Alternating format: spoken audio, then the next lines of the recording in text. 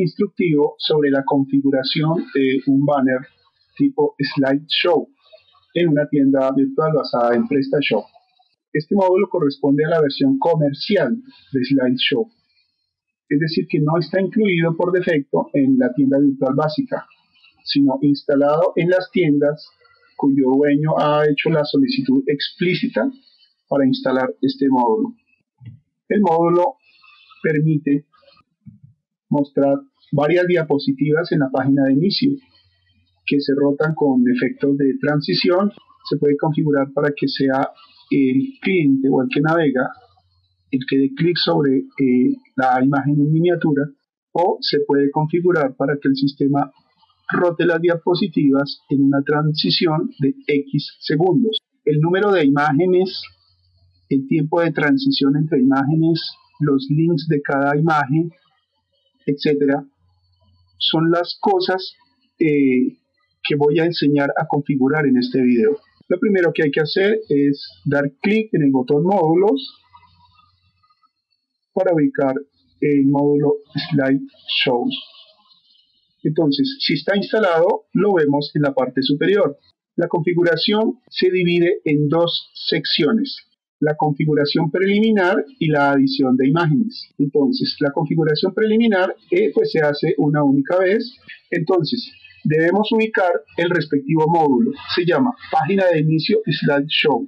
Damos clic en el botón configurar y luego pasamos a revisar uno por uno los siguientes campos.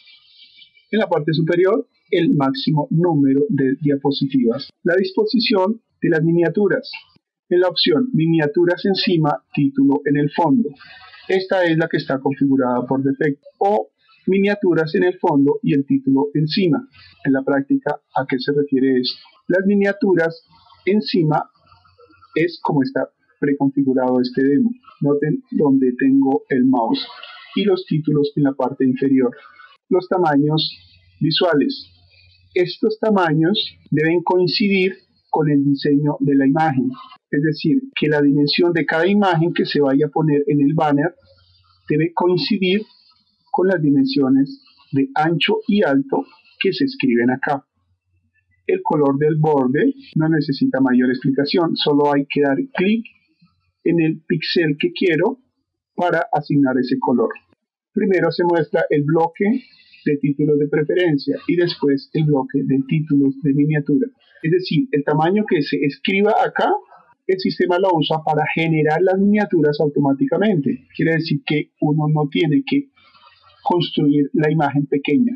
El sistema se encarga de eso. La única imagen que debemos construir es la de este tamaño, que es el real, el que se muestra acá. Sigamos. En la parte inferior se configuran los efectos.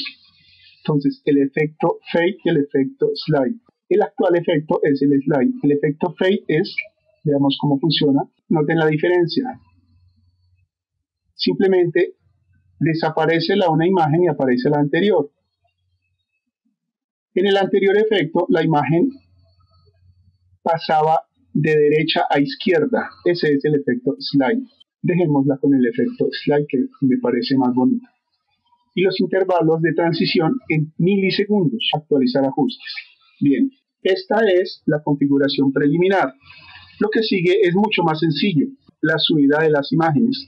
Para eso se da clic en el botón Slide Show y el sistema muestra las actuales tres imágenes que están rotando. Recordemos que habíamos configurado siete imágenes. Entonces acá lo único que hay que hacer es dar clic en el botón añadir nueva imagen. Se selecciona el archivo desde mi computador y se da clic sobre el, archivo. En el título escribimos lo que queremos que aparezca acá en la parte superior de cada diapositiva, en la parte superior o en la parte inferior de acuerdo a como lo hayamos preconfigurado. El URL pues es la dirección a donde queremos llevar al cliente cuando dé clic en la respectiva diapositiva. Y el estado eh, sirve para activar o desactivar una diapositiva. Luego damos clic en el botón guardar y listo. De este modo se configura el banner dinámico eh, con efecto carrusel o con efecto slide que estamos mostrando en este demo. Muchas gracias.